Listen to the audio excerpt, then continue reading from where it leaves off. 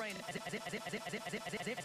every summer here in Melbourne. But today, for the first time ever, it's the home of the world's best netballers and a record crowd is rolling in. It's the start of the 2012 ANZ Championship Finals right here on Network 10.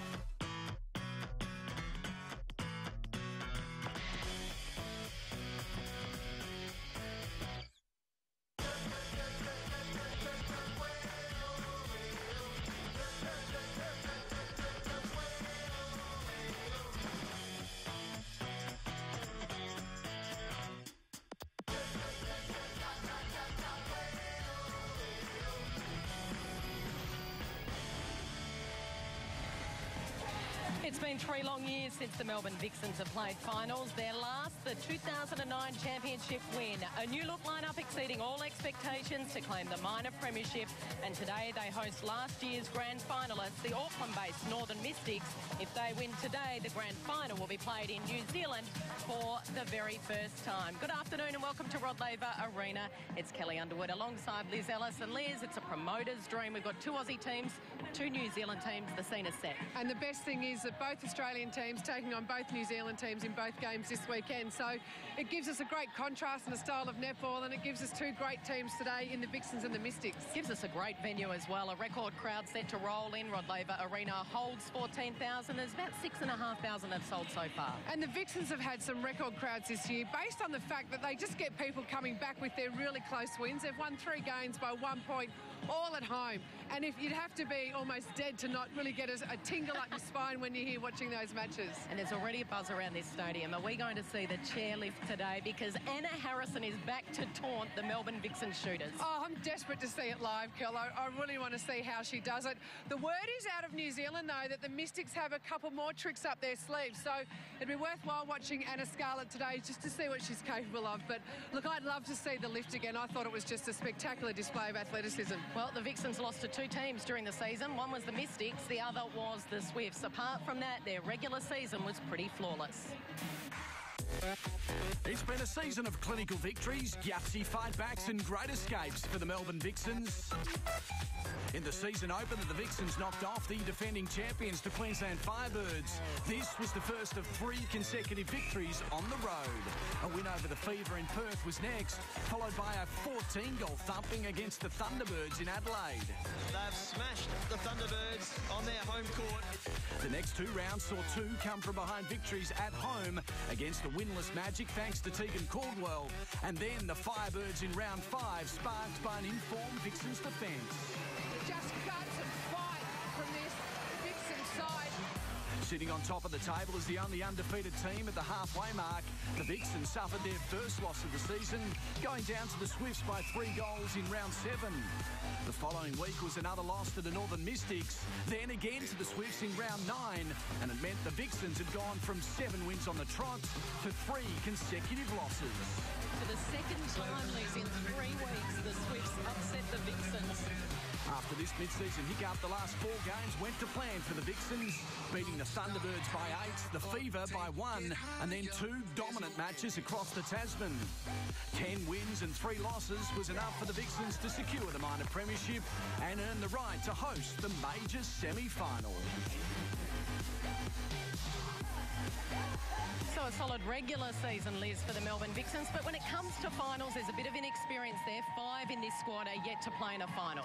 And don't forget, Vixens haven't played finals since their win in 2009. So there are a number of players out there who'll be feeling the nerves. The only way to get over that is to get on court, get the ball in your hands. Let's unveil this starting seven. All the interest is around that goal shooter. Who got the nod? Well, Howarth and Caldwell take the reins early, but I would expect to see Kate Beveridge come in there at some point. I reckon that's probably the only area of fragility in this Vixens lineup. Their mid-court is settled. Maddie Browne is having an outstanding year. But if you look to their defensive line, that is the strength of this team. Corletto, Chatfield, and a goalkeeper, Geva Mentor, has just been outstanding this year. Here are her season averages, and it's worthwhile pointing out she's second in the competition for intercepts and first for deflections. So she gets her hands to plenty of ball. It will be up to the players around her her today to support her and chase the ball down when she tips it. Liz Ellis, the most capped player in Australian history, joining us in commentary this afternoon. The second most capped player in Australian history. She's going to keep a close eye on her beloved Vixens. Here's Sharelle McMahon. Absolutely. The Vixens, thanks, Kel, for that. The Vixens coming off two really great wins over in New Zealand. They spent the week over there. The confidence is really building for this team. They trained extremely well today and during this week. And look, down here at Rod Laver Arena, it's the first time we've ever been here. The girls are excited. They're extremely pumped for this game. Back to you. Thanks for that, Sharelle. Of course, the Melbourne Vixens, well, if they get the win today, they'll move straight through to the grand final and they host that in Melbourne in a couple of weeks' time. We just got a little insight into how they're feeling. Let's check out, check in with a couple of their players. I think all year the girls have all stepped up in their leadership roles, especially with Maddie and Chelsea in the vice captain position. We're just going to go about it the same as what we have every other game this season, and I think that that will put us in good stead to win this game. It's always a tough encounter when I play Cat. Um, but it's one that I'm looking forward to, and I know it's going to be a challenge, and I know there's going to be lots of challenges all over the court. But it's the beauty of playing a team sport. You know, you've got your teammates out there to back you up and support you through. I just want to get out there and play my role for the team. Obviously, you know, encourage that attack and make sure we're feeling really positive, control it. Um, so, yeah, as long as everyone's doing their job today, I think we can get the job done.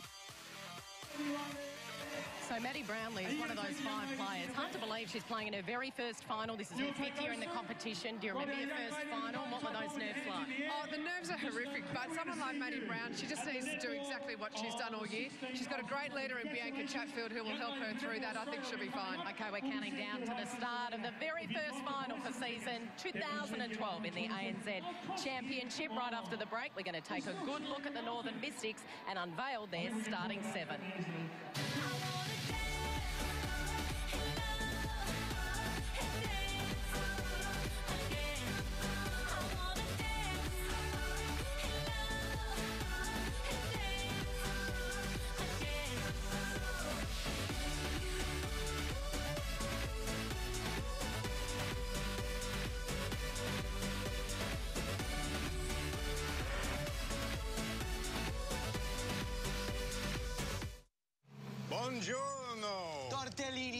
Fettuccini, linguini, prosciutto. Join us all this week on MasterChef because we are in Italy. Ciao, Ciao ragazzi.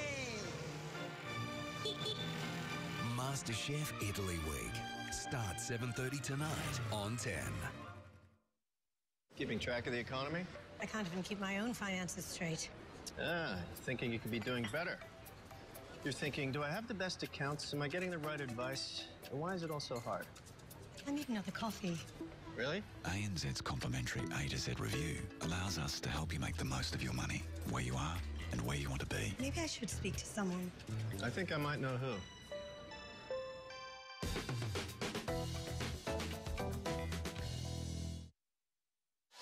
Action.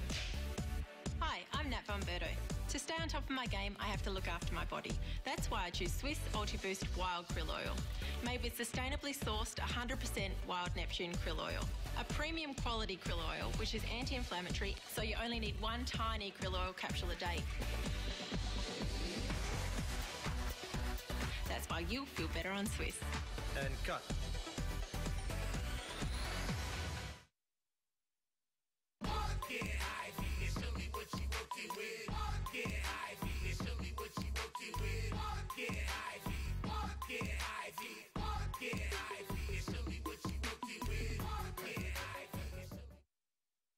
I'd say you've got nothing to lose by trying light and easy. It's absolutely fantastic. If your goal is for weight loss, you can achieve that. And if you're someone who's time poor, you'll just save hours in your day. It's uh, taken away the time to go to the shops and buy the food and prepare and cook the food. It's just too easy. And that's allowed me to have more time in my own personal life to do the things that I want to do.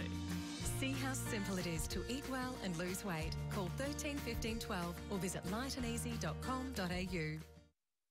During Choice's 20% off sale, you can get 20% off our top 20 flooring products, including carpet, timber, vinyl, and more, but only for 20 days. Choices, the floor you've been searching for.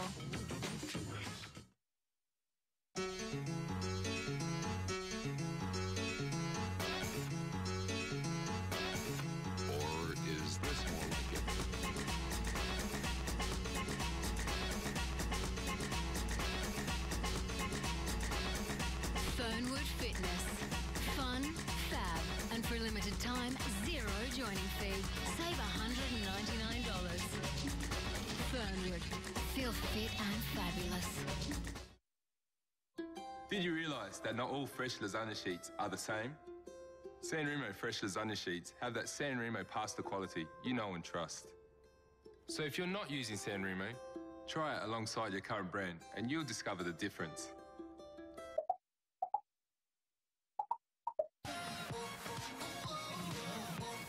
Welcome back to Rod Laver Arena. It's the major semi-final between the Melbourne Vixens and the Northern Mystics. The New Zealand team aiming for back-to-back grand finals. Liz Ellis is standing alongside of me. Liz, how much confidence do they draw out of the fact they came here during the regular season? It was round eight. They won by four and they went home victorious. They will take an enormous amount of confidence out of that win kill. They got up by four goals. It was on the back of some pretty spectacular stuff. We saw some highlights of that earlier from Anna Harrison, but they also managed to get home with a very uh, vocal Melbourne crowd. They managed to keep it together in the, the clutch stages of that game. That will hold them in great stead. It's been another dominant regular season by the Northern Mystics. 10 wins, three losses. This is how it all unfolded. 2012 has been a season of unforgettable brilliance and inspired innovation for the Northern Mystics.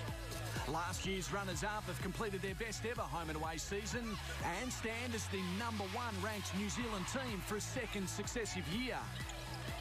They opened their account with three slick wins against the Pulse, Magic and Fever before suffering a two-goal loss to the Adelaide Thunderbirds in round four.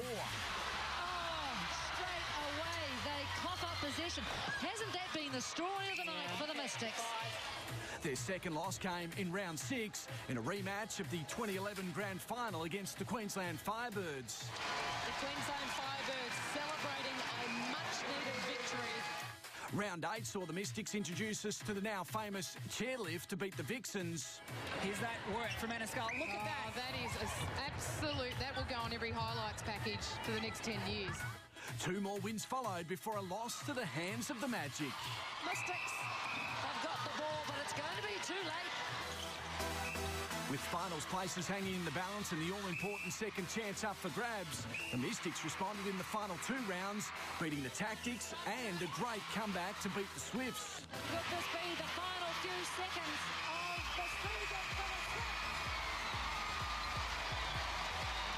10 wins and 3 losses, 2012 has been their best ever home and away season.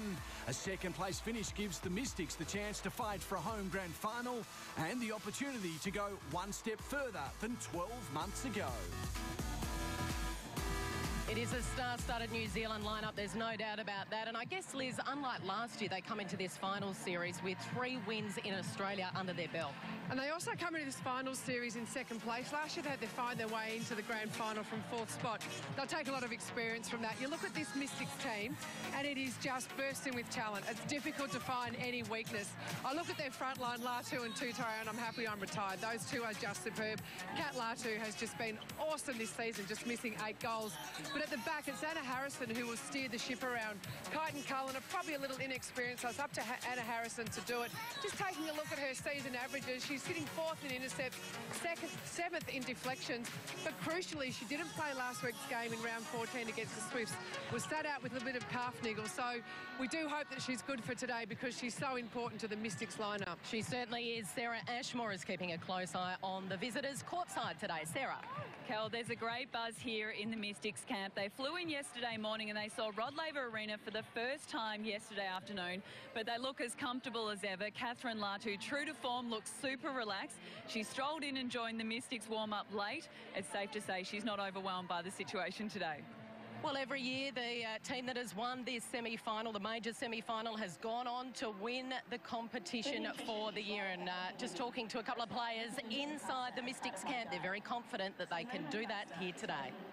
Yeah, definitely. It set us up against the Swift, uh, Swifts game last week. It set us up for a good um, final, um, semi-final against the Vixens. And uh, yeah, we're really prepared. We want to have consistent four quarters because we haven't done that throughout the season. So um, hopefully that you can see that tonight. So we're feeling really good, and obviously last time we met them, we had a nice game and things to improve on, so we'll be looking to do that today.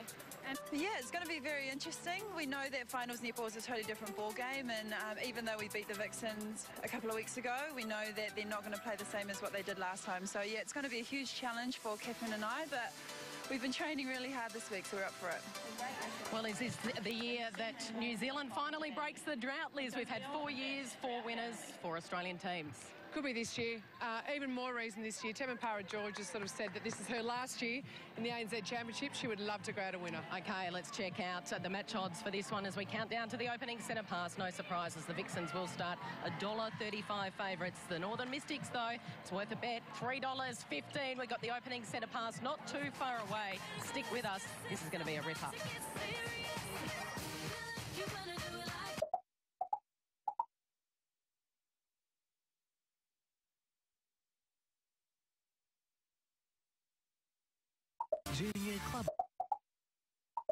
Nominate your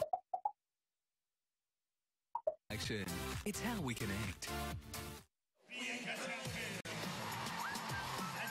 All roads lead to Rod Laver Arena for the first final of the ANZ Championship season. Perhaps the biggest crowd ever for a netball game in Melbourne. A lot to look forward to this afternoon. It's Kelli Underwood alongside Liz Ellison. Also joining us in the commentary position this afternoon is Sue Gaudion, one of the sharpest netball brains going around in the game. Sue, great to have you along. What are you looking forward to most in this one? Well, I just had the great pleasure of commentating when these two sides last met and uh, absolutely phenomenal game. The chairlift was so exciting. As Liz said, I hope we see it again today. Absolutely, and I can't believe that they've let the two naughty kids in the classroom sit in commentary with the microphone. So this should be fun, Kel. Good luck Yeah, getting how- a word in each way. How do you think I feel, hey? well, the last time they played, as Sue mentioned, the Mystics led at every change. Two highly skilled, physical, powerful netball teams to go toe-to-toe. So much to look forward to. And it's going to be the English international in Jade Clarke that will get us underway. What about this matchup, ladies? Chatfield and Tutaia.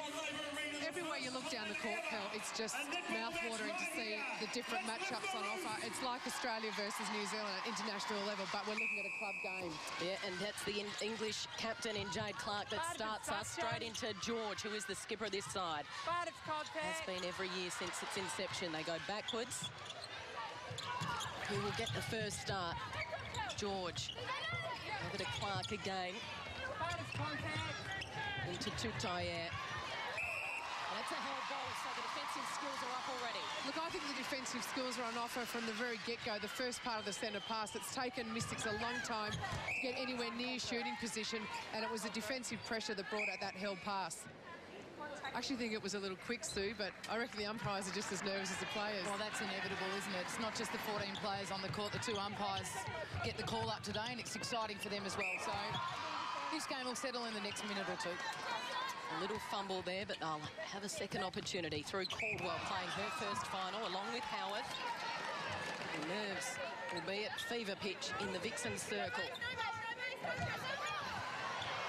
Back into Caldwell for the perfect start for the Vixens. Just see Tegan Caldwell then breathe out. You can feel all the nerves go when it's, it's like this. You want to get your hands on the ball. If you're a shooter, you want to get your first goal in.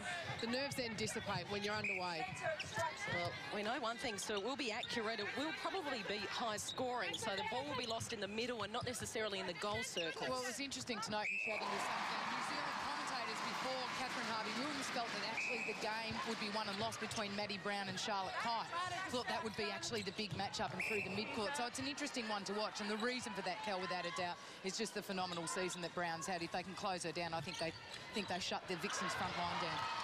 Well, nearly two minutes before the superstar for the Vixens, Cathrine Latu. Oh, and a miss. An amazing stat for this goal shooter. She has missed just eight goals for the entire season. Yeah, that honestly almost unheard of. Actually, never happened before. It, to have someone in your front line, you know, pretty much every time the ball goes down there, it's to be rewarded. That is just outstanding. Nice little slice cut from Caldwell to the baseline. And that is a great start for Tegan Caldwell. According to this starting side, when Sharelle McMahon announced that she was pregnant right on the eve of the start of this season, she's three from three. And a miss from Latu. And actually sits second on the ladder for offensive rebounds, and she's just put her foot out of court then. So she's phenomenal. And a step there from Julie Corletto. Just nerves all around for both of these teams. Exactly. I think you're just going to say that it doesn't matter how good a player you are, nerves hit you in finals time. And uh, as good as Cathrine Latu has been at the post all year, she's a little fumbly early. It was a longer shot than she's used to taking as well. That's her comfort zone. That's where she doesn't miss from. Because she put her foot out of court, the miss doesn't count. So on the stat sheet, she is two from two. Well, she shot 26 from 26 last week at 100%. That's her fifth 100% game for this year.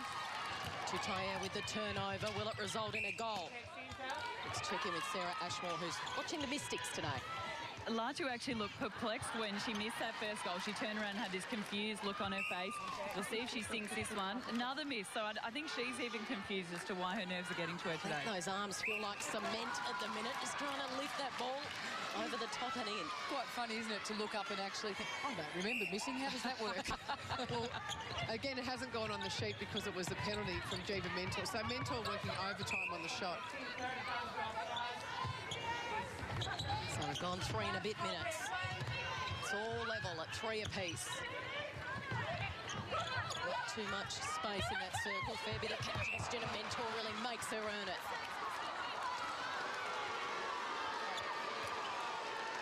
Crowd's already in this one. Plenty of energy inside Rod Laver Arena. Clarke feeds it in to Tutaia. And that is her first goal for the afternoon. Expect a few more. Well, I just think that that's something that the Vixens need to be very mindful of. Their defence on the outside of the circle, the way that Clarke and George work that ball around the ring to set up the positioning of their shooters is actually a great strength of the Mystics. So uh, certainly some work to be done by the defensive pair, the Vixens. Now, this is Howarth's first attempt. That's exactly how she would have dreamed it last night. Perfect start, confidence booster in her rookie season.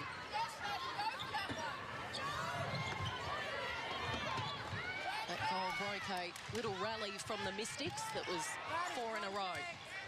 Mystics really struggling to get over the transverse line. It's taken them four or five passes to get there. Just not a real lot of penetration from Clarke and George. They want to sit up near the transverse line. It's taken them a long while to get to the post. She's a long bomb specialist, Maria Tutaia. A match winner, or at times the mind can wander.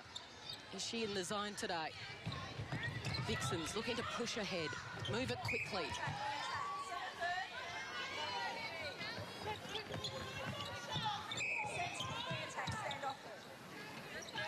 One of Temepara George's favourite little trick. She's only little, so the umpires often don't see her just squeezing in under the defender. Vixens coach Julie Hoornweg joins us from the bench. Julie, how have you seen this start? Oh, great start. Um, just a couple of little errors there, but that might be nerves. Hopefully we'll settle down and get into the match again. Julie, at this stage of the year, does your team pick itself or how much agonising goes into naming the 1.7? Uh, there's always a lot of agonising. They train really hard. They all want to get out there and play. It's always tough to leave someone out, but uh, this is the team we've run with for the last two weeks, so we thought we'd leave them settle. Jules, how much did you have to say to the newcomers in finals today? Obviously, even someone like Maddie Browne hasn't taken the court in the final situation. Oh, look, it's a, a netball game that has to be won and played, so we concentrated on the processes and hopefully we'll get those right, and uh, the game looks after itself. Thanks, Julie. We'll catch up with you in the second half. Thank Julie you. Hoornweg, the coach of the Melbourne Vixens. Mystics just edge ahead, 6-5. Corletto, Caldwell going back. Now they'll restart it through their skipper in Chatfield. What a terrific season she's had. Well, now it's the Vixens' turns to just to find it really difficult to get from the transverse line to the top of the circle. Sometimes when that happens, you want your shooter to come out and make an offer. There's the first block from Scarlett. She didn't need her teammates' help to get her up there because the vertical leap is sensational. Yeah, for my liking, Cal, that was a blatant obstruction. Um, I was absolutely gobsmacked at the distance then, so getting away with it on that account. Just perhaps getting in the head of Karyn Howarth as well. Plenty of pressure being applied.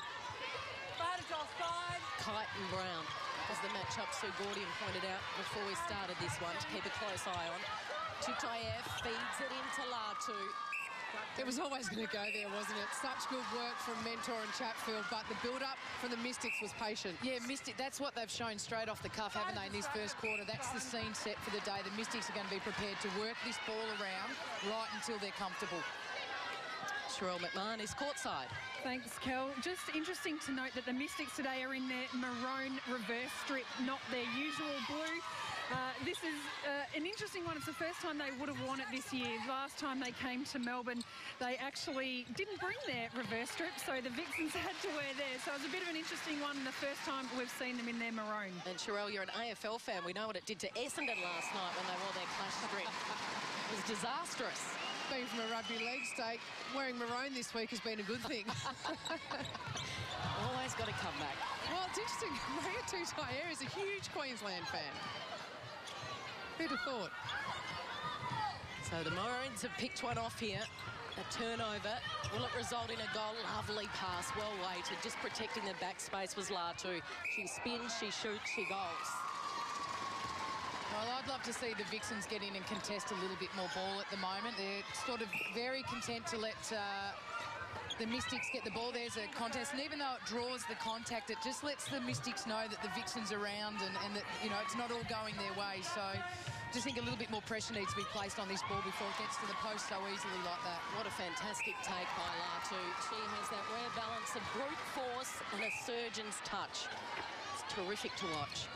And when you're playing against the New Zealand team, you have to contest every ball because you have to hope that by the end of the game that the body starts to wear them down a little bit. So you can't just be content to let them take the ball. Yeah, no games won in the first 15 minutes, you're right, Liz, and that's something you've just got to build the pressure over a period of time. And of course, as we know, this game will go down to the wire and it'll be the pressure that's built early that'll bring a team across the line in that fourth quarter. This has been a nervy start. It's been picked off by Cullen. She did really well to stay in play. And this is where they can torch them on the turnover, on the transition. They slow it down. Eight of the last 11 has gone to the Mystics. Well, Howarth had good possession, position there, but she moved off a little early, allowed Cullen to come through for the intercept. Visitors have really taken the crown out of this in the last few minutes. Slowly, gradually finding their way and getting on top.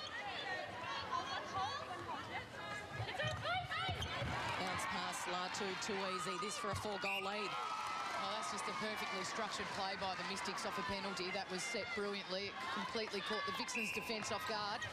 And they have possession. So this could be five goals with only a few minutes left. Well, what beautiful quick hands then from Jade Clarke.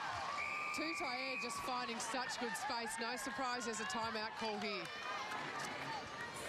That is the last four goals that have gone to the Mystics. So after a pretty okay solid start by the home side, the Vixens, they got the first few on the board. It's been the Northern Mystics since then, and they've peeled off the last four. Yeah, they have. And uh, look, this is one of the areas that concerned me coming into this game with the Vixens. I actually believe that Julie Corletto best matches up on Maria Tutaia, but that leaves the Vixens without a solid wing defence. Nothing against what Bianca Chatfield does, but history tells us when we've seen Corletto, she takes Tutaia out of the game. You can find, of course, not just the home of netball here on Network 10, but it's the home of probably our favourite show here if we all had a vote. On the commentary panel, it's Offspring in the breathtaking season finale of Offspring. All your questions will be answered. It's 10's hit drama, 8.30 on Wednesday night here on Network 10. Yeah, it is interesting. I like Julie Corletto in that goal defence position.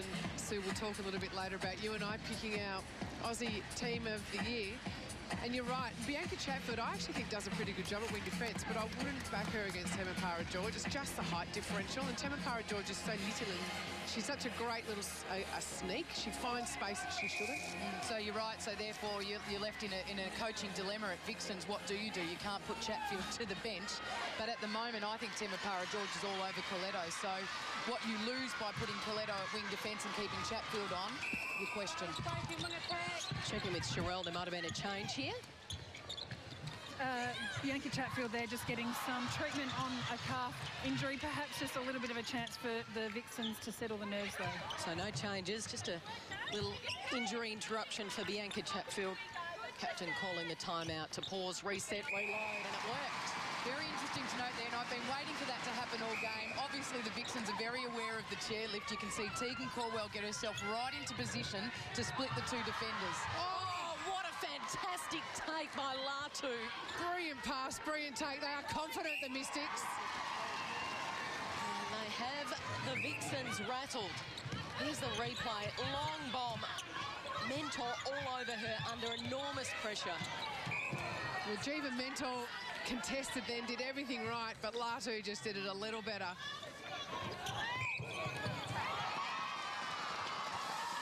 Oh, Maddie Browne, crucial call there.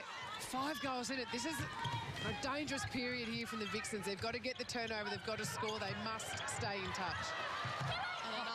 Wonderful take. It's deja vu. Mentor must thinking, what can I do? Does she play in front Liz? Is it, I mean, it's a position you once played. Is that the best tactic? Sometimes the best way to play against Kat Latu is to sit on the bench, especially when she's in this sort of mood. Geva Mentor has to keep moving her feet, but the protection has to come from out in front of her. The ball at the moment is coming down the court. The release is easy. The, the contest has to come from the wing defence, the goal defence and the centre. Well, this is the turnover that they desperately needed. They must score here.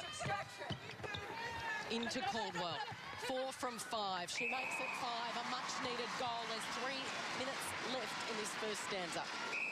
Breaking goal attack. They have possession through Browne. Long bomb into the pocket. Good take under pressure. Tregear and then fires it in bullet-like to Howarth. Oh, Harrison! Harrison. and here's the reaction from the crowd. Uh, I love it. Melbourne crowd can boo all they like. It is just fantastic to just be at this level and to see her fly. It's awesome. That her hand was above the rim. To see it in real life, just extraordinary. And she is well and truly in Howarth's head. Bounce it off. Here goes Harrison again, and the obstruction's called. It doesn't matter, it's a goal. Well, the thing is, Vixens have had, what, six rounds to think about it? They know it's coming. Goal shooter. You can't switch off as a goal attack. Or whoever's taking the shot, the, the other shooter's got to be on the ball the whole time. You cannot switch off until that ball goes in the ring. You must split the two defenders and not allow them to set up the lift, whatever you want to call it. They employed it four times successfully the last time they met, and they won by four goals. So every time they employ it, it's just so crucial to the outcome of this match. Mystics by four. There is certainly a lot of physical activity in under that post. Caldwell for her six, wants to give it off, and now Howarth too far out. She won't even look at the post. Harrison actually looks for the lift when the shot's in close. That's when the ball's got to go up high. So, you know, the Vixens may need to look at just taking some longer shots, and that's where Kate Beveridge is really useful. She's a long shot specialist. Yeah, absolutely. And you'd have to think that maybe uh, Julie Hoornweg will have to give some consideration to that. Howarth looks hesitant all round at the moment. You saw Caldwell just got in between the two defenders there to make sure it didn't happen. But, uh, yeah, Howarth is completely, she's shaken up. So a chance to make it a five-goal lead. Completely different structure under the post up the other end because Mentor is just one out with Latu. She is, but she's contesting. If she continues to do that all game, it'll pay dividends for her in the last quarter. 40 seconds left. Vixen's ball. Can they get it down to at least four? Long bomb into Howarth. She turns. She goals.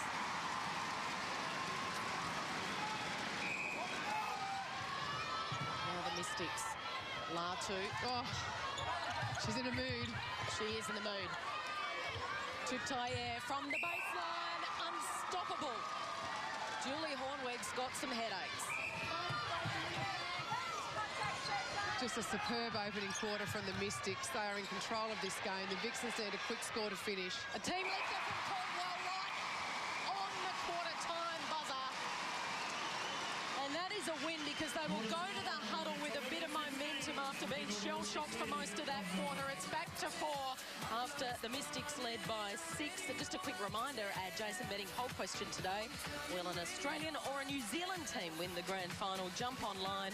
We'd love to hear what you think. 10sport.com.au forward slash netball. The game on our hands. It's the Mystics by four at quarter time.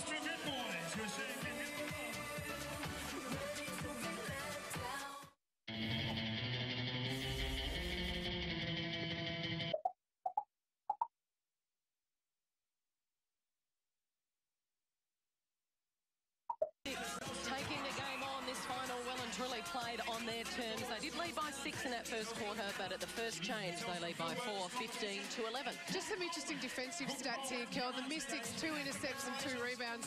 They're winning ball back far easier than the Vixens. That's a problem for the Vixens. There's been no gains defensively for them. They've got to start winning clean balls. Sue? Well, it's interesting, actually, because if you have a look at uh, Charlotte Kight, I actually think the work's been done outside the front of the circle, which is actually setting it up for those Mystics defenders in the circle. And you can just see there, one intercept to her name already. She's kind of kept Maddie Browne at bay. I mean, Maddie's had eight centre pass receives, but as we mentioned earlier, that is a really good battle between those two at the moment. So it was the Vixens by two early stages of that first quarter, and then the Mystics went on a bit of a rampage, and they were able to take the crowd right out of it. It's Jade Clarke with the ball in her hand, the English captain. Two English internationals out there today. Of course, Geva Mentor, the import for the Vixens. What sort of start will we get in this second term? What would Julie Hoornweg have said to her Vixens players? Try and get themselves back into this contest. Cullen, back to Kight. Player Sue was just talking about. Now Clarke. Tiny bounce pass there to Tutaia, and she's forced to go backwards. They backtrack to go forward again. Latu wearing Mentor, wearing the pressure.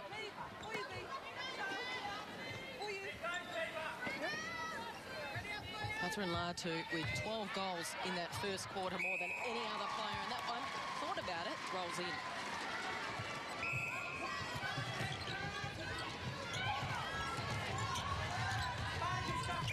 Oh, and that is a nasty head clash. Oh. Bodies on the line, sickening stuff here.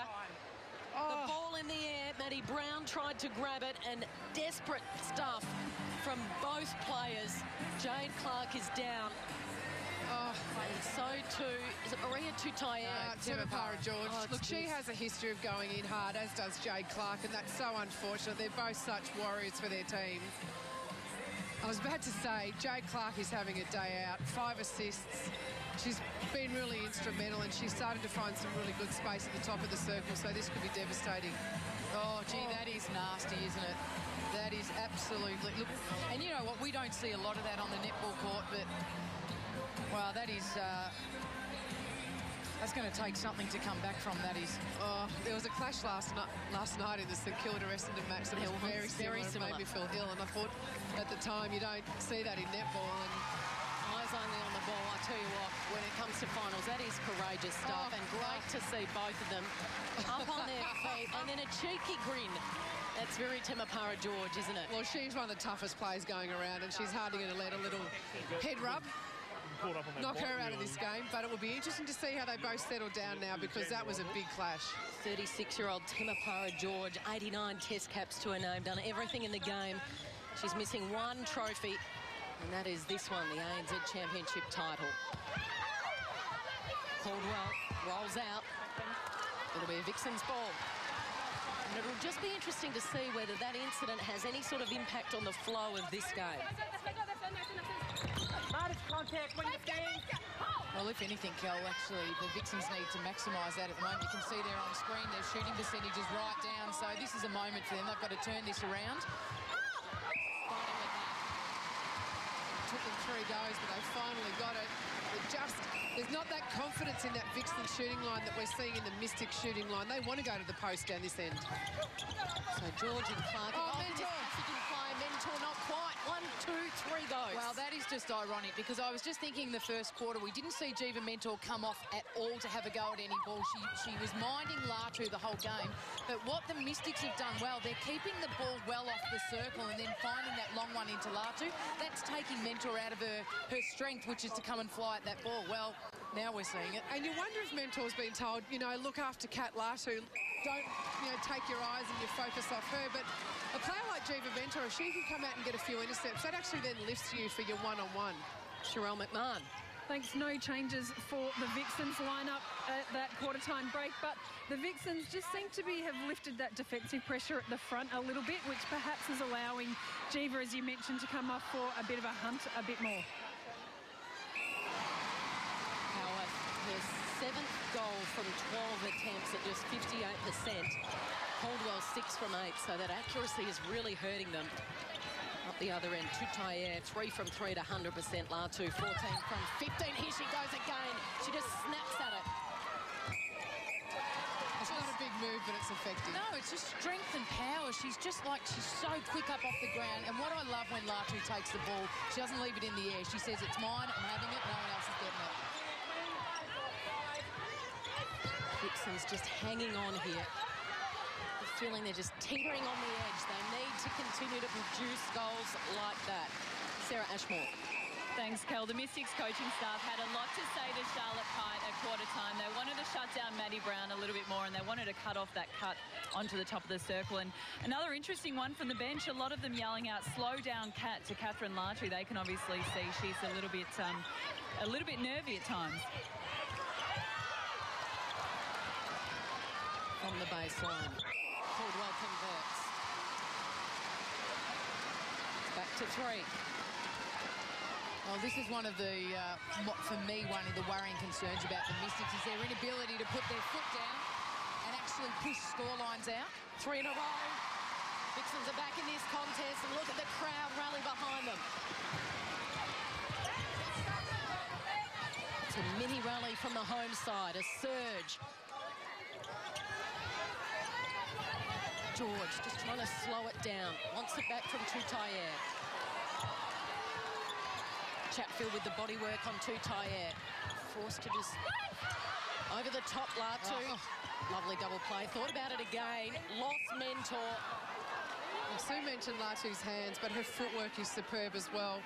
So quick to do the little double shuffle there with George. It's a play they've done a million times. Puts a stop to those three in a row from the Vixens.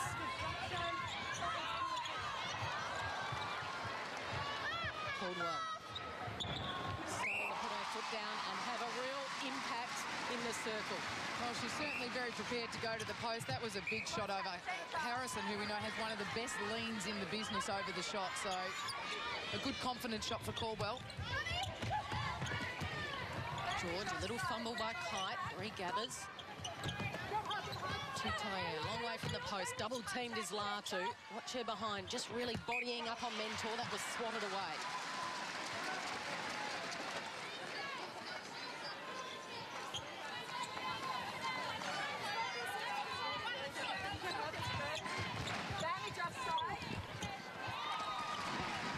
Oh, that's just another lovely set play off a baseline throw. And Mystics just showing they've got such great structures and prepared to stick to them in, in predicaments like that just then. Very, very smart by the Mystics. And they're out by three, and Megan Dean can join us from the bench of the Northern Mystics. Megan, first of all, your reaction uh, on the bench when you saw that sickening head clash. You must be relieved that both players were able to get back up on their feet. Yeah, it's not often that you see um, Temepara George stay on the ground, so it was a bit worrying, but um, good to see them back up and running. Megan, what was the feeling like in the team? Do you feel that this is your year to maybe host a grand final? Uh, you can never say that it's your year and you don't want to take anything for granted. We've done a lot of hard work, but um, that means nothing if we don't put it out on court now. So it's just all been, been about focusing on the game and doing the little things right. Yeah, Megs, a couple of opportunities to stretch this scoreline out. Maybe not something the Mystics have shown us. Tend to let teams come back into it. Have you noticed that? What do you got to do? yeah, of course we've noticed it. Um, we've got to keep it simple and play the basics and um, yeah, and just try and keep the keep the play nice and solid and stick to our game plan. Thanks for your time, Megan. We'll catch you in the second half. Almost a turnover Oh, Mentor. Oh, Mentor came out hunting. Oh, she was looking for that seconds Half an hour ago, was- yeah. You see it coming. Centre contact. Well, that's what we need to see a lot more of from Geva Mentor. Can't sit back on Latu. The Vixen's got to turn that ball over way out in front of that goal circle. Yeah, because that's going to happen when the ball's in the goal circle. Latu and Tutaia just cool-handed at the moment. Just the 95%. four attempts from Tutaia, so they're really the go-to girl is Latu. Corletto to Chatfield. And share it around before they move it forward. Just using that centre corridor now, they try and work the angles, a bounce pass, and yet again, Howarth. Little double play, inspired by what Latu did down the other end. But a miss and an offensive rebound, that's pivotal. That really hurts. Well, it's interesting. While Tegan Caldwell's worrying about setting up so they can't do the lift, she actually isn't in the best rebounding position. So now that gives them something else to actually think about. And they move it so quickly down the other end of the court. And another timeout has been called here, this time by the Mystics. Well, te- no, I think it might have been by the umpire because Tegan Caldwell is bleeding in the nose. So it's a blood rule. So, yeah, interesting. I don't know that that, that head clash has slowed down Temepara, Georgia, No. Jade Clarke, but it is getting incredibly physical in the middle. Lots of push and shove. Uh, Corletto and Tregear really taking the game physically to those mid-court players. Well, I think they have to because, as we said in that first quarter, I just felt that the Mystics, even though they weren't penetrating the circle edge, that was by their own choice. They're prepared to play patience with the ball. So Corletto and uh, in my opinion, have to get in there and start contesting some ball right away.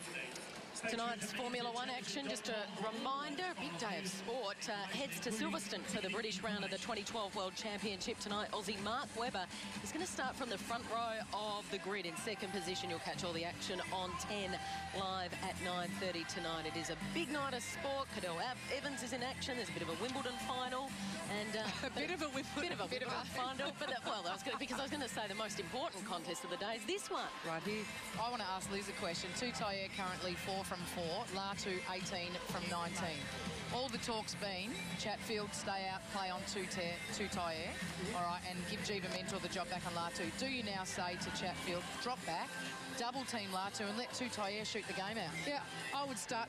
I would certainly try that. The problem with that, if you say to Tutaia, you shoot the game out, she can do it, and she can do the long bombs. You know, we talked earlier what you do with. Julie Corletto, how she does the job at goal defence. I actually think Bianca Chatfield's doing a real good job at goal defence, really working Maria Tutaia and sort of keeping her out. But Latu is in one of those moves, so you do need to change it up. You've got to start to get them thinking. And the first place you do that is to maybe start by playing a bit of a split circle. So we're back underway. Seven minutes left in this first half, and the Mystics by four. That was the margin at quarter time. The Vixens have got back within two. The long-range specialist, that was never in doubt. Makes it look effortless. So after the Vixens did all the hard work in the opening stages of this first quarter, the Mystics have been able to push ahead. How good was Madison Browne there? Three efforts off the centre pass, didn't get it, then opened up to the top of the circle. Her work rate at the moment, fantastic. Sarah Ashmore. Temepara George received some further treatment to her head after that sickening clash. She's been a fantastic leader for the Mystics in this first half. Sharelle, who do you think needs to step up for the Vixens and take on that sort of leadership role? I think for the Vixens, I think they really have to have leadership all over the court. But I think particularly in the attack end, I think they've got some great leaders down in this defence end. But, you know, Maddie Browne, they're doing quite a good job shutting her movement down off the centre pass. Too quick, just too powerful. They're making it look too easy. There's too much space for uh, Tutaia. I'm right with Liz at the moment. I think Chatfield's got to drop back. They've got to split the circle and give the, uh, the Mystics something to think about back there. And the, the full defensive pressure has to step up from the Vixens through court. More confidence in their play this time as they make the approach. And the key is variety. You've got to make sure that if you drop back and win a couple of balls, then you go back out to your one-on-one so Change that you, you just continue to get Kat Latu and Maria Tutaia thinking, OK, what's she going to do? Where's my space? You let them get comfortable, they'll open up a lead. Latu splits the defenders, steps to the post with such confidence. Kat Latu, 20 from 21. And you know that she likes to have the defender on the body. She likes it because then that tells her where the space is. If Chatfield and Mentor go into a split circle, suddenly she's got to go and find them, and that's more running for her. Well, it's also more difficult for the feeders to feed the ball. As a centre court feeder, when you see a body that's posted up, you know exactly where to place that ball. It's a little different when you've got floating defenders around. Caldwell feeds it off to Howarth, who's slowly getting involved in this game now. She's up to 13 after a bit of an edgy start. You can see there Chatfield's drop back, so the positional switches happen. Mentor's now out on Tutaia. And you can just see them playing almost a split. And then went back to man-to-man. I thought they were going to go there, Liz, into a split circle, but they're still playing on a man-to-man game. You can see Mentor chasing Tutaia outside the circle. So the switch has been made. Need to get a couple of defensive stops.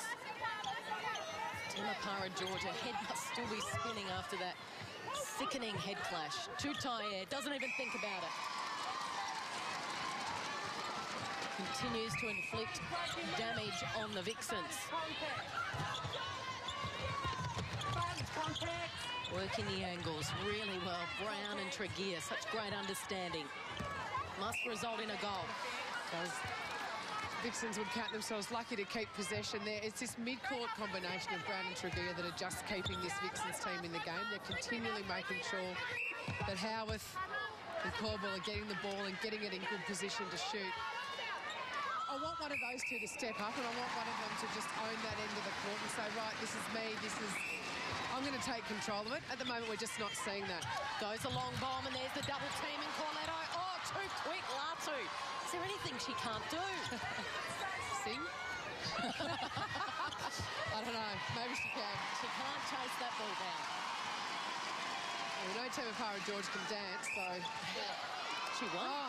Dance with the Stars. She did. Now, that's a really basic mistake to make. The throw-in was taken. Geva Mentor, I think it was, stepped on court. Schoolgirl era stuff. It is. And the ball is so hard for the Vixens to come by. That's just heartbreaking. It's just a, a savage blow, quite deflating. With three minutes left before half-time, they had their opportunity to get it back within a couple, and now it's five. So that would have got them back to three. Fumble by Chatfield. Tregear. Caldwell, quick ball puts Howarth under enormous pressure. Oh, turn to the post and shoot. Yes. What are you thinking? And that's what I'm talking about. It's just that command of the circle and command of the post that the Vixens don't have at the moment. Almost a turnover. Oh, George. So determined. Yeah, she leads the pickups at the moment, and you can see why. So quick. Well, so quick, we've hardly spoken about Julie Corletto. It's almost like she's not in the game. She's one of our most powerful, you know, athletes from a, an Australian perspective. Temepara George is having an absolute blinder at the moment. You see with Temepara George, she's played netball for so long. As a 36-year-old, she wants this so bad, and it's so obvious out there on court, just lifting the teammates around her. Well, you can see Harrison certainly causing Howarth some concern on the shot. She's having to fake the shot two or three times simply by a great stretch over the, the shot by uh, Harrison. Well, 15 from 21 from Howarth. How have you seen the opening half? And will a change be made? Do they bring Beveridge on? I reckon they'll bring Bev. They have to bring Kate Beveridge on. Howarth is getting the ball okay. Oh, that was a good ball, but it was there. Yeah, I agree with it. And it's interesting, I've seen the crowd or heard the crowd call today a few times. The, the pushes come with the ball from the Mystics players just to get rid of the Vixens defenders. Oh, I've lost it again. Chance gone missing. Now, if I were Julie Hoornweg, I would make the change. I'd bring Kate Beveridge on just to get the long bombs going and to split the defenders up. So another opportunity goes begging. Once again, that would have got them to within three. Just holds off Chatfield for goal number 22 for the half.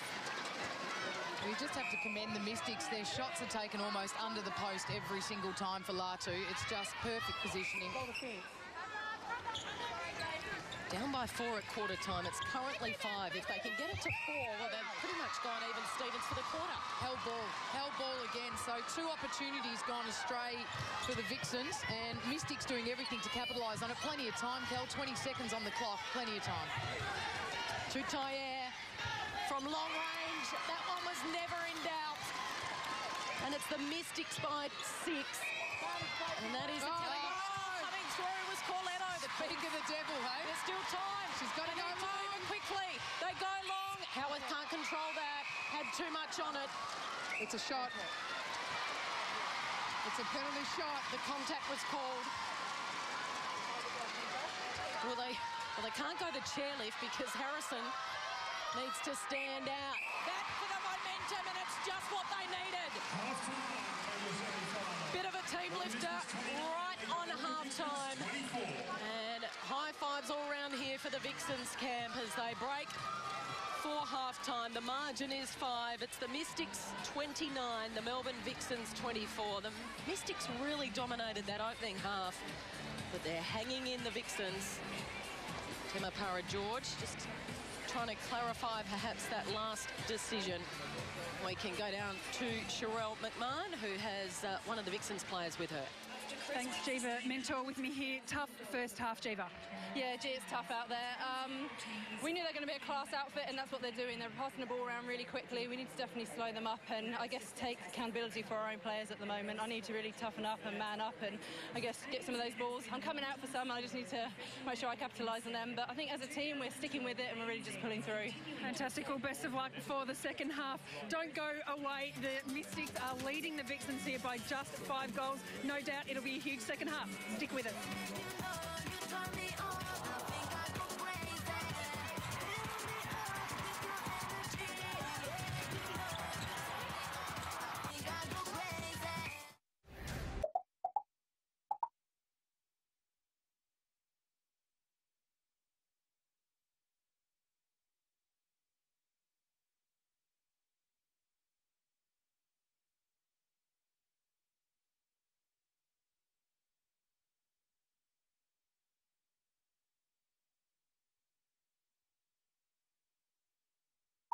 Done. Absolutely, and they've come back from bigger deficits than this in, in smaller times against the Firebirds.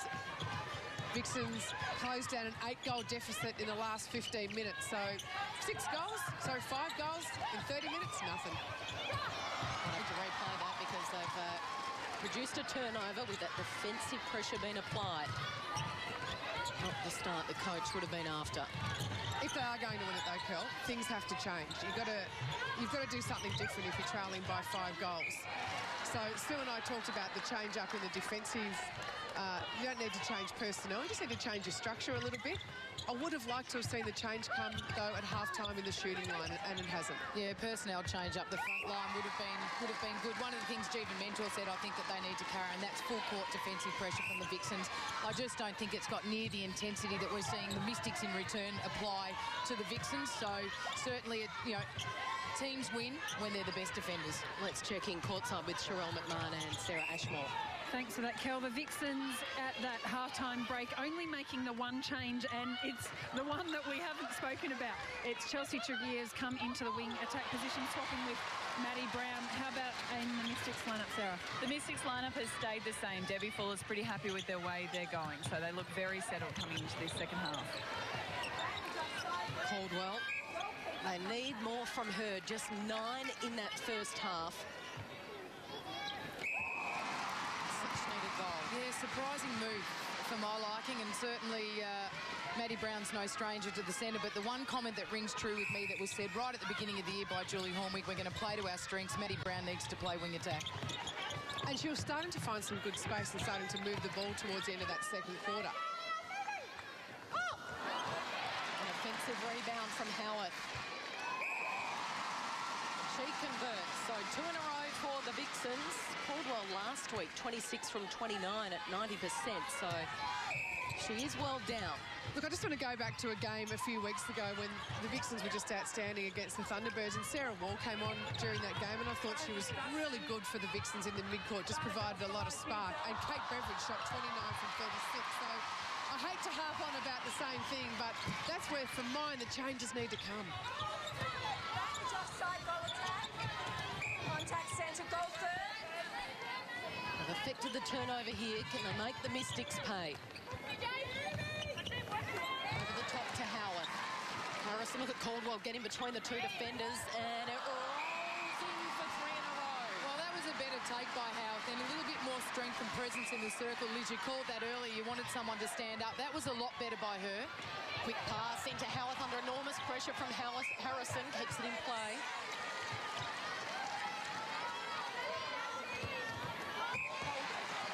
Again, hasn't she just come into it in the last three or four balls? Howarth's all over it. And that's four, and they're back within two. And the delivery's better. It's almost like too much respect was being paid to Anna Harrison's arms. You've got to deliver it and maybe get the penalty. But that means you've got to be strong on the tape. Crowd is lifted. Bounce pass finds space and it's thrown away. Well, the crowd's lifted, and if that doesn't get your pulse racing as a Vixens player and want to make you just jump that extra couple of centimetres, then you're not breathing. Well, it's like an eighth player out there on court. Oh, that's wild. Wild from Corletto. Maybe the pulse was going a little too hard. Well, oh, it certainly drew some attention from the coaching staff for the Vixens bench then. That was the first place I looked when that ball was let go. Kight, George, Tutaia in the pocket.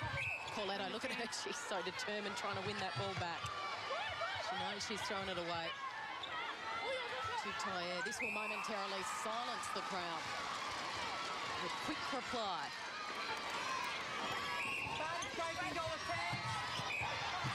It's like the start of this second quarter. They a couple of goals by the home side and they got back within two, but then they let it go after that. Same thing has happened to start the third. Similar pattern. Rolling the ball into Caldwell, who gives it over the top to Howarth. Well, you have to credit Harrison and Cullen. Their positional changes and the switches that they do defensively, they are really starting to form a fantastic combination. Scarily, not just for the Mystics, but ultimately for the Silver Ferns. Mm. Clarke. Oh, fumbles. That was a basic fumble. Yeah, the pressure's lifted a bit out there, hasn't it? And as a result, the Mystics have called a timeout here. Or do you reckon this crowd realises the role they can play in this game? Because they have come alive the minute that the Vixens stepped back on this court in the second half. I think Mentor and Chatfield have definitely stepped it up. They're rallying the troops, aren't they? Thunderous applause. Hoornweg in the huddle. Plenty to say. Very, very vocal. For the Vixens, they don't need to make up the five-goal margin straight away. You don't need to do it in the first five minutes. You just need to start to eat in it. It may take them this entire quarter just to get it back because the Mystics will respond.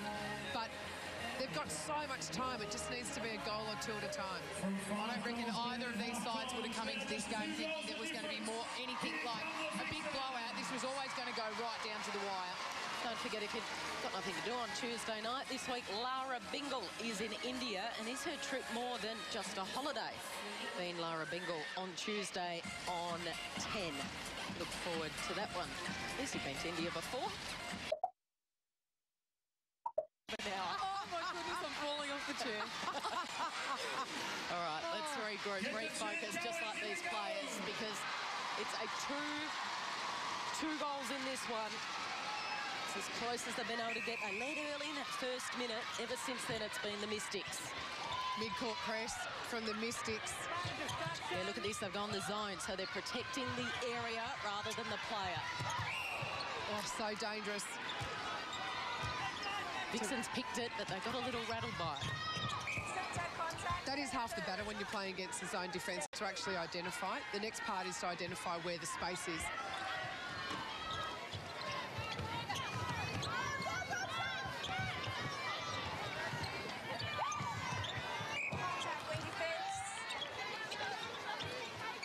Kight out of play. Maddie Browne's ball. Oh, off Cullen's hand. Oh, that's unlucky. Oh, Looked like so it was all unlucky. ball. Yeah. Great footwork then, outside arm. Caldwell pressure shooting. Making move, the Vixens. Well, Liz, you said they didn't have to do it all at once. They're six minutes in and they've nearly turned that five goals around. So you're absolutely correct in what you're saying, but the Vixens will be absolutely relishing in this moment because that's a massive turnaround quickly. It's enormous, especially against the run of play in the game. It wasn't like they were dominating prior to half-time, but that one goal that they got that Tegan Caldwell just clutched in after the, the whistle, really important.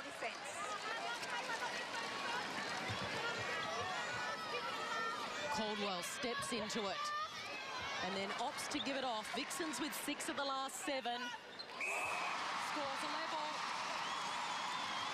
Let's go down to the Vixens bench. Julie Hoornweg joins us now. Julie, uh, what was the mood in the camp at half-time there? Oh, we were pretty determined about what we had to do, and we just talked uh, through some processes and what uh, needed to happen. And we've been using our own ball quite efficiently today. It's just we needed to turn more ball over. Julie, what was the thinking behind your mid-court switch? Oh, we just thought they were getting a bit more run through there, than, and we needed some, so we just thought we'd swap it over. We've done that a few times this year, so we thought we'd stick with it. Julie, what were the specific instructions that went to Chatfield and Mentor? Because they've come out after half time and absolutely fired up. Oh, they need to confuse space and uh, put doubt in the uh, attackers' minds. I thought we were a little bit one-dimensional. Thanks for your time, Julie. Thank you. It's going to be a tense final, seven minutes of this third term. Got back on level pegging. Mystics regaining their composure. Into Howarth. High ball, great take. That's better.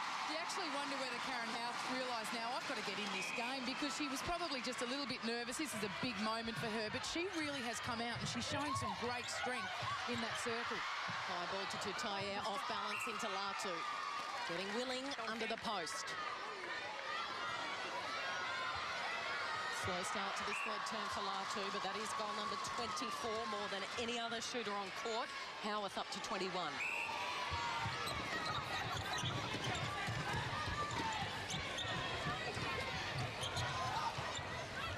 Tregear, bullet-like pass into Howarth. Nice passage of play. It's goals for goal at Rod Laver Arena. Karyn Howarth has changed the starting position. She's starting up a lot further uh, up the court, closer to the top of the circle. It's giving her a lot of space to move back into, and the mid-court are finding her in that space. That's a crucial difference in, in this second half. Well, Joe, what's interesting though is that in actual fact what we've seen is a switch. The Vixens are now prepared to let that quick ball go into Howarth. In return, they're a little bit hesitant now to go into Latu. So a real momentum change in that respect for both teams. Howarth a long way from the post. One out is Caldwell. Harrison gets back there. To set up. Just patiently work the angles here. Caldwell. Pause against Cullen. Caldwell starting to fire. Penalty starting to mount against Kayla Cullen. 13 for her, 42 for the Mystics, just 32 for the Vixens. Tight. Plenty of defensive pressure being applied by Corletto. And now Browne. They're on their toes. They're hustling.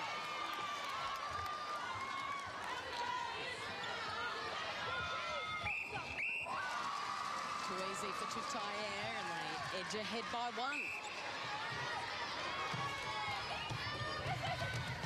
Finish obstruction, wing defence. This match at a poised real, very evenly at the minute. It's been an arm wrestle this quarter. Five minutes left, and once again, it's back to level. Let's go courtside, Sarah Ashmore. Thanks, Cal. A couple of times in this quarter, Kayla Cullen and uh, Anna Harrison have just looked at each other and as if to say, where were you on that ball? So the defensive unit that was so tight in that first half is now showing some cracks. Sharelle, how have you seen the change that the Vixens made in that half time? Yeah, well, it's interesting. Chelsea Tregear has spent a lot of her career in the wing attack position. The centre is only a new one for her. I actually think she's finding some really nice space on the centre pass and opening this wall that the Mystics are setting up. Thanks for that, guys. Once again, the Mystics by one.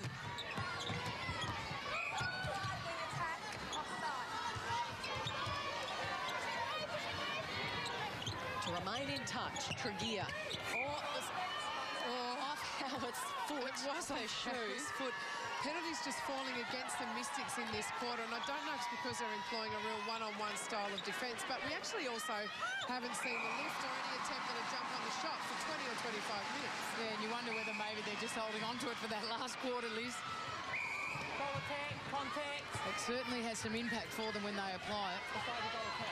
Really crucial final four minutes coming up here, given that uh, the Vixens haven't been, uh, haven't led apart from the first minute.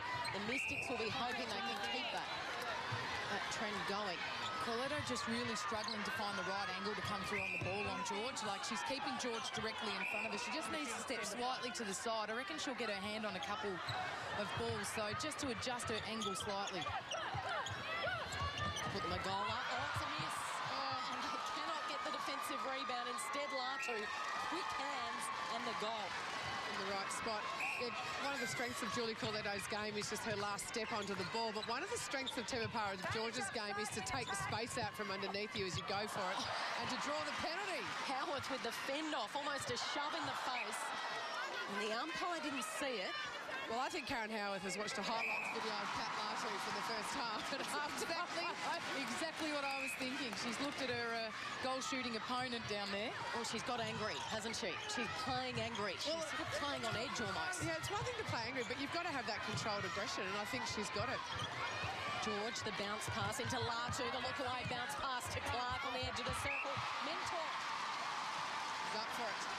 Well, there's a little bit of emotion creeping in down this end. When we see Kath Latu start to do those sorts of things, she's the body's being ridden and she gets a little bit involved in the emotion of the game. We heard earlier the, the Mystics bench yelling out to her, just calm down, slow it down. So I wouldn't be surprised if we hear that coming from the Mystics bench.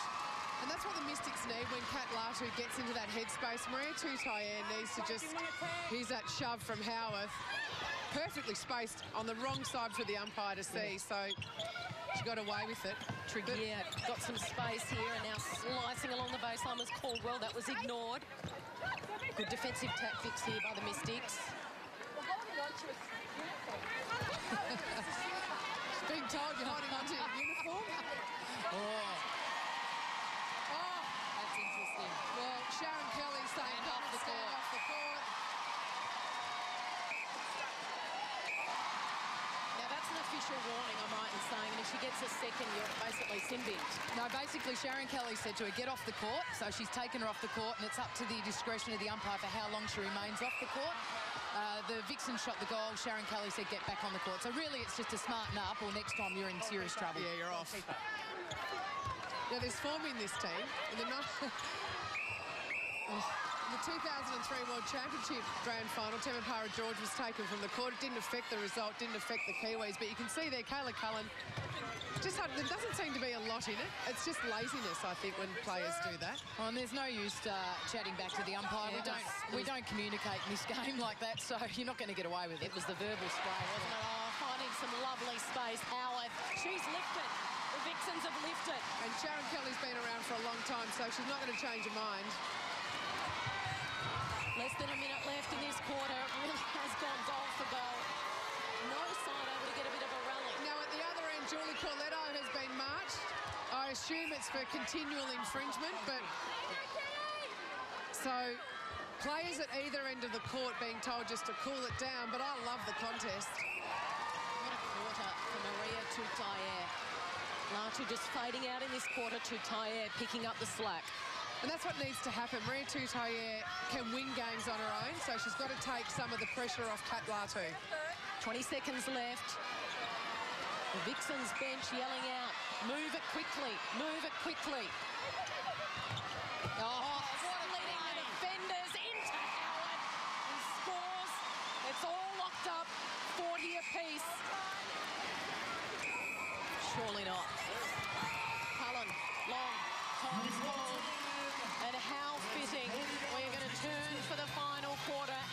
All locked up. What a gutsy fight back from the Vixens.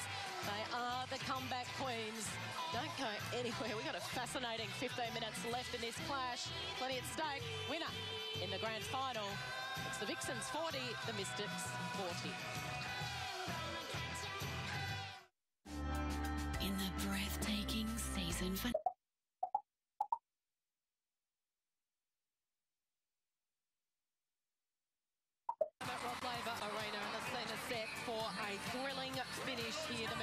Vixens outscored the Northern Mystics 16 to 11 in that third term. And it's so evenly poised. 40 goals apiece. Liz Ellis, Sue Gaudion took us through these stats. Well, this is interesting. These match stats have evened right up. The only area of concern for the Vixens is that the Mystics are shooting at 91% to the Vixens 80%. Maybe we can go to the shot chart. Liz, take us through that, and uh, we'll probably see what that all talks about. Well, the Vixens' shots have essentially lifted from the 50%, 60% around the first quarter to sitting up now at 80%. It's just worth looking at seeing where Karyn Howarth has come into the game. And you can see just in front of the post is where she has been dominant. And I reckon that really started to happen in that third quarter. She'd been pushed around a bit in the first two quarters, but eight from nine in front of the post, that is where she's holding space. She's starting at the top of the circle. That's giving her plenty of room to fade back in the uh, feeders, especially Maddie Browne in that third quarter, are starting to have the confidence to deliver her the ball. It's everything we'd hope for. Both sides playing for plenty of spot in the grand final, up for grabs. Will we be in Auckland? Will we be in Melbourne in two weeks' time? 15 minutes left to decide their fate, and it's the Vixens with possession. Browne to Caldwell to hit the front for the first time since the opening minute, and Rod Laver Arena explodes into life. The Vixens up by one. What a start.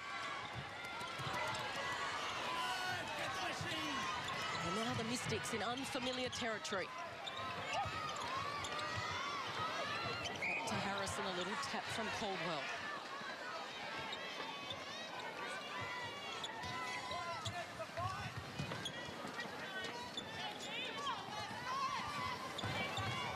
George, trying to rally the troops. A stepping call. The crowd was all over that Mentor from behind. Just interesting, the sting seems to have gone out of things in the opening couple of minutes. I reckon both coaches have said to their charges, really important quarter, but you don't want to find yourself watching it from the sidelines. Keep the umpires out of it. Sarah Ashmore. Huge changes, Cal, as you can see for the Mystics. Stick with me here. We've got Temepara George from wing attack into centre. Jade Clarke from centre to wing defence. Grace Rasmussen comes on the court in wing attack. Harrison has gone from goalkeeper to goal defence. Cullen is off. Knight is Kight is off, sorry. And Jessica Moulds comes in at goalkeeper. Sherelle, is it a sign that they're rattled? An interesting one. So many mass changes right across this court. They're obviously trying to find something that was missing in that third quarter. And guys, you were right. The Vixens really spoke about coming off the body in that defence, finding that front position and not getting caught reaching. Wholesale changes. I'm very surprised. The one thing I'll call this now, I actually reckon this might bring Julie Corletto into the game. I thought Temepara George was all over it at wing attack. I think this will be a good matchup, Rasmussen, for Corletto. So the Mystics really hunting for something different. They are, and you know, one change often takes a team a long while just to settle into it, but six, sorry, five changes is just phenomenal. The only two players left where they started, Latu and Tutaia, they're the ones who will steer the ship home, but it's just a surprising thing to do with 15 minutes to go in a major semi-final. How risky? Enormously. So it's all tied up again, 42 apiece. Of course, the Vixens have won three games by a goal already this season, so they have the self-belief when needed. They even fought back from eight down in the final quarter against the Firebirds and won by one. They're back in front. Well, interestingly enough, when we called this game, the Vixens Mystics game at High Hisense Arena earlier a few, a few weeks back, this change. Big out onto it. Great strength. She read it all over Rasmussen. What about the eye contact from Rasmussen as she brought it back in? That was, she was, was filthy. not happy at all. Geva Mentor stood strong on that. Just quickly, I was going to say, Moulds came on at goalkeeper in the last quarter, the last time these two sides met, which got the Mystics up. Cullen went to the bench. So this is a change that the Mystics are familiar with. And Moulds is a bit of a chairlifter-lifter, if that makes sense too. Am I right in saying that? She's the lift in the chair. She's- Thank you. She, yeah, she's the lifter. Oh, they're going to do it again. Nearly. Very close. Look out for that chairlift. We saw it plenty of times in that last quarter when these two sides last met. Funds contact. Tregear, Caldwell, Tregear, Caldwell. Over the top. That was a little hopeful, perhaps a little lucky. Well, Tr- uh, Tegan Caldwell playing some smart netball there. She's actually just allowing that circle for Moulds and Howarth to play. I reckon that's really smart because I think Howarth can have the strength over Moulds one-on-one in the circle. Three in a row. They have put their foot down. How will the Mystics respond to this one? Well, they have to respond now. You can't wait for 10 minutes and hope to start to catch it up. They've got to respond immediately.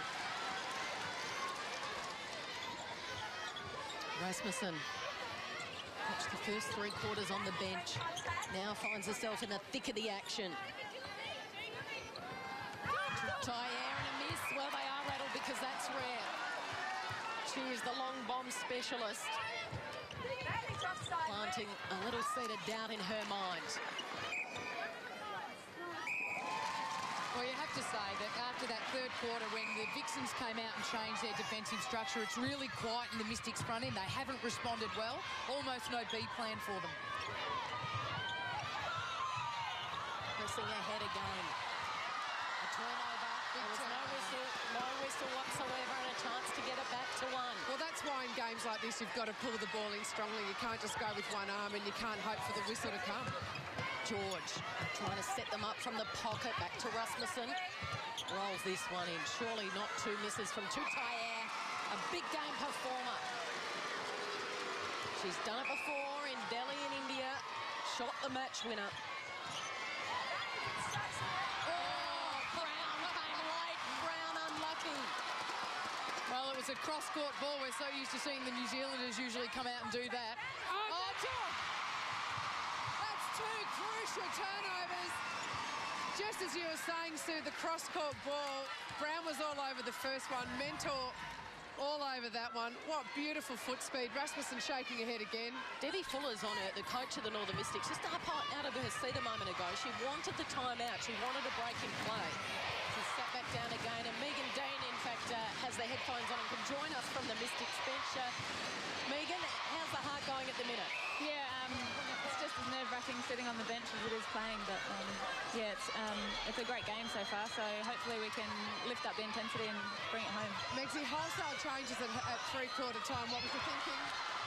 Uh, we just wanted a bit more movement in attack, which brought some fresh legs on a uh, wing attack, and then um, yeah, um, we thought that Jess might get a bit of height in there and she get some good tips in the defence. So hopefully the bit of extra height in the circle will bring us some ball back. Nervous final eight minutes for you, Megan. Appreciate the insight. Thank you.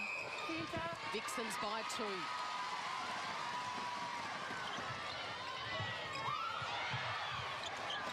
Caldwell's going to back herself in here. Oh, off hands. Contact's called. Yeah, Harrison was too close then by about a foot. Hard to disguise. Tegan Caldwell doesn't flinch under pressure. Well, she's shot some big goals for the Vixens today, and she's been well known to do that throughout the season. Just a little indecisive now as they try to push forward the Mystics. Vixens have scored the last two. Bounce pass over to George, rolling it back to Rasmussen, and then somehow finds some space in there. Tutaia is going to take it. And they peg one back. Well, Tutaia now sitting at 16, Latu at 29. Karyn Howarth, highest score of the game, 30 from 37. Just an absolutely stunning second half from her. She has stood up. She has been the one that has said in that in that front line, give me the ball, I want to go to the post. And full credit to Julie Horner, because here we were sitting on the side saying, bring Kate Beveridge on. But one of the things that we should have taken into consideration is that Howarth is going to have this opportunity to grow in the game. She's done exactly that and rewarded not just her coach, but her teammates as well. That's why we don't coach, Sue. Yeah, anymore.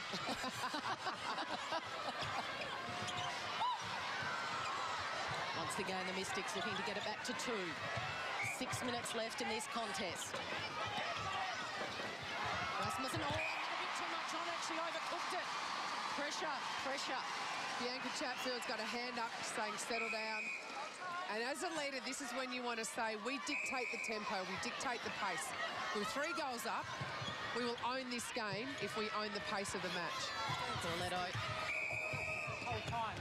Goal shooter blood. Okay, Karyn Howarth just coming to the bench. Well, it's interesting she's run to the bench because it's actually a bit of momentum for the Vixens at the moment. This is like a blood rule is the last thing that the Vixens want. They want to keep pushing this scoreline out, get that physio on, cover up that wound, get back on and get the game going. She's taken a bib off. That's a disaster. You just don't take your bib off ever. Make sure you don't miss a minute of finals Would did she have blood on her bib though, maybe? No, possibly it could have been blood on the bib. Victory at the end of today's game means the grand final on Sunday the 22nd. Always hate to call these, these moments. the 15th. Can we go? Stay tuned to Seriously hope here that this doesn't give the Vixens the loss of their momentum from their perspective, and but for the Mystics, you think they might actually gain some. Well, I was just thinking before, the Mystics, I reckon they don't want to play as the Magic or the Thunderbirds. You want to win this game because I have a sneaking suspicion the second grand finalist will come from tomorrow night's game. So the winner of this game is going to breathe a huge sigh of relief. Well, I support you 100% on that. I actually agree. Sharelle McMahon's watching things very closely in that Vixens circle. She's not going to tell us exactly what was going on in just a sec. Yeah, we'll get to her shortly. Just before we get underway, don't forget uh, Swiss have been running a terrific competition to do with netball. Trying to find the perfect netball ambassador, the likes of Brown and Bell and Medhurst. If you want to have your say and vote for your favourite, facebook.com forward slash Swiss Vitamins. We will get down to Sharelle very shortly. Underway, six minutes left in this one. Browne Struggling to control that one, and she does. Vixens by three. Just that ball popped up for an anxious moment, allowed George to have a really good look at it. Now Caldwell again. Tegan Caldwell. Cool shoulders. Let's get down to Sharelle. Thanks. Uh, yeah, the Vixens then just really talking about wanting to control this pace. As you mentioned, guys, they want to really take control of this and put the pressure on in defence, which I really think they've been doing out the front of this circle in this quarter. Sarah, how are you sending them in that attack line? Vixens out to their biggest lead so far. It's five with five minutes left. Simple equation. Are the Mystics up to the challenge? Well, I reckon the Mystics had a bit of a chat in that huddle and said, we've got to actually do something because whilst five minutes is a lot of time in netball, the momentum's with the Vixens. I reckon we've seen three or four of the Mystics players come off their own player to try and have a crack at a ball and turn it over. Look about the shooting skills on display from Maria Tutaia. For the Vixens now. Caldwell wants it short. Oh, almost. Off hands. And now she goes again. Risky play, but the confidence is there for Caldwell to deliver into Howarth. So far, those two young shooters are standing up in the big moments. And they most certainly are. It's Howarth that wants to go to the post. George back to Rasmussen. Latu a long way from home. They've been robbed of their rhythm since those mass changes were made at the last break. Well, Cathrine Latu's faded out of this game, and Geva Mentor can take ultimate credit for that. She's worn Latu down. This is going to be, I think, Latu's first shot in this quarter. Well, well, the thing is, and also too, they're just not willing to throw the ball into anymore. They're worried about Geva Mentor, and even though Latu is setting up some perfect position, the Mystics have lost all their confidence to let that ball go. And the movement from Latu has stopped. She was so crisp and so good in that first quarter. Reckon that's a fitness issue. And I reckon when you go and get play, um, you're playing against Kat Latu, you say to yourself, she's probably going to pace me for the first 40 minutes of the game. But if I can test everything and make her move and make her work, I'll get her in the last 10 minutes. And that's where we've seen Geva Mentor come into it. Yeah, and the other thing that's been impressive about Mentor, as we called early, was just her ability to change what she was doing, which was that hard man-on-man game, and all of a sudden she's come out and started to play to her strengths, come off and she's taken some blinding intercepts, some absolutely inspiring intercepts for the Vixens and really put them on the board. Can the Mystics still do it from here? Four goals down. Oh, look, yeah, there's plenty of time, absolutely, and it's a final, so they'll be doing everything because they know how important it is to win at home. If you're going to ask me who I think will win this, yes, I think the Vixens have got it, but don't underestimate four minutes of netball. Especially with the Vixens, they can, sorry, the Mystics, they can score quickly. Mm. Should they decide to get their confidence back and just start delivering Bombing it. ball, Yep. bombing it into Latu, you know, they're down at the, this umpire's end. Sharon Kelly has been really reluctant to let the defenders get too all over the shooter. She's controlled it really well. So that means you've got to start to say, all right, Geva Mentor, if you want it, you've got to contest, and we'd like the penalty, please. But you've got to throw the ball. Sarah Ashmore. A tactical timeout there by Debbie Fuller. She actually made Harrison call it. Harrison's calf is completely fine. She's moved back into goalkeeper. And Rachel Rasmussen has come on at goal defence. Jessica Moulds has gone to the bench. So the Mystics need a couple of defensive stops. Almost George. she knows it. Yeah, she knew she was very close there. She will fight to the death to make it five goals. And that's going to make it tough. Three minutes left. Tutaia. I reckon she should have put it in then. You know, Latu's there. You, well, they've got to take a couple of risks. They absolutely have to take a couple of risks and get. If, if that ball goes in and Latu gets confidence, bang, the game turns around. Well, they need quick goals. And you know, yep, you know how quickly it can turn around. Tense stuff. Crowd in here at Rod Laver Arena. More than 7,000 this afternoon. First time netball's ever been played here.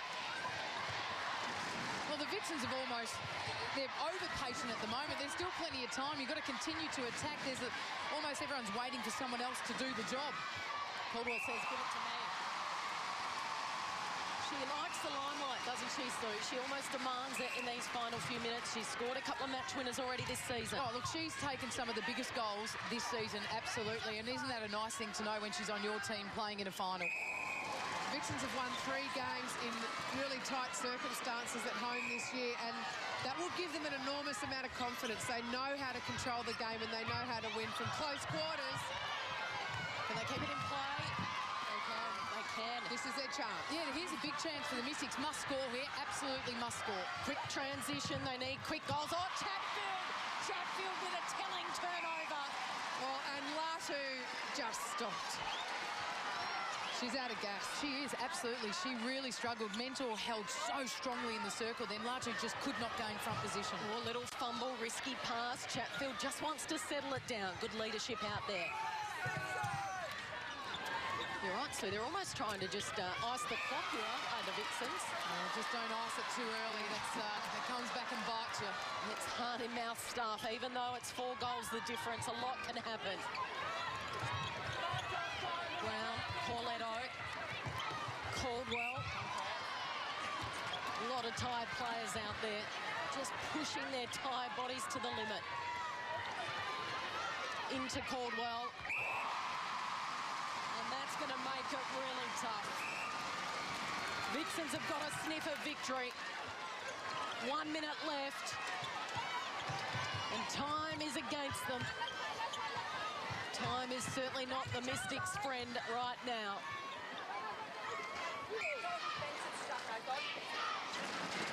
Well, the crowd's now going to get into this and sense that they're going to be coming back here, Cal, in a couple of weeks' time.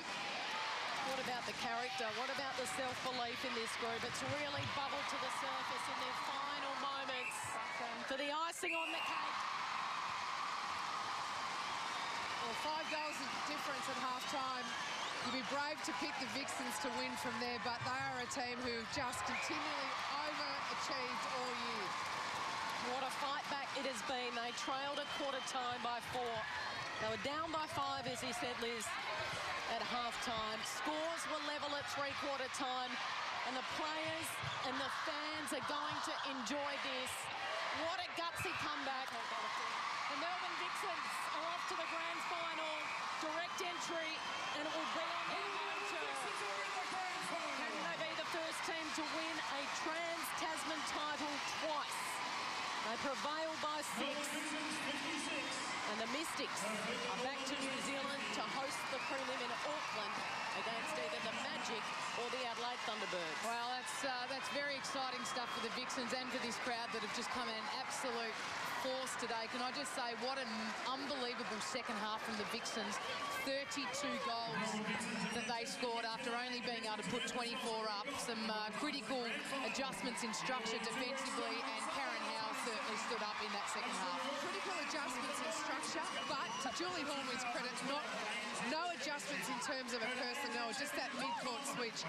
That's gutsy coaching, really, to look at that front line and say it's not functioning, but not yet. Well, well, it's not functioning. Then we can say about the Mystics, wholesale changes made at the third quarter, and unfortunately now they have to sit there and say it didn't work. It didn't, and their crucial player in Cathrine Latu just ran out of petrol. All right, let's get down courtside. Sharelle McMahon's grabbed not only her former teammate, but her very best mate in Bianca Chatfield. Thanks for that, Kel. Bianca, what a fight back. Obviously down by five goals at half-time and to take it out by such a margin, you must be so proud.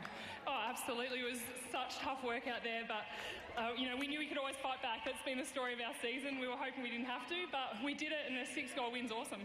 And largely unchanged lineup really across that, that those four quarters. So there's obviously a lot of confidence in that in that lineup. Yeah, there is confidence in the lineup, but we also know we've got plenty of options on the bench as well. And I think that's what's helped us this year is our versatility, and we just don't know anyone can do the job, which is great to have that. Well, all the best for the grand final, home grand final, Bianca. I'm throwing across to Sarah now, who's got Maddie Browne. Maddie Browne, how exciting for you. You're into your first ANZ Championship Grand Final. I know, it is so exciting, and today's crowd was amazing, and I don't think we could have done it without you, so thank you very much. The crowd was amazing. We could barely hear anything on the sideline. That must really lift you in a game like this. Oh, definitely to have the home crowd screaming for you, but we just have so much belief in each other and know that we just got to play our own game, and with them behind us, we can do anything, so Congratulations, the Melbourne Grand Final in two weeks' time. Oh, I can't wait. Very excited. Thanks, Ned. And congratulations to Geva Mentor as well, voted by our commentators as the Telstra Player of the Match. Well done, Geva Mentor. They are the true comeback queens. The Melbourne Vixens never say die into their second grand final in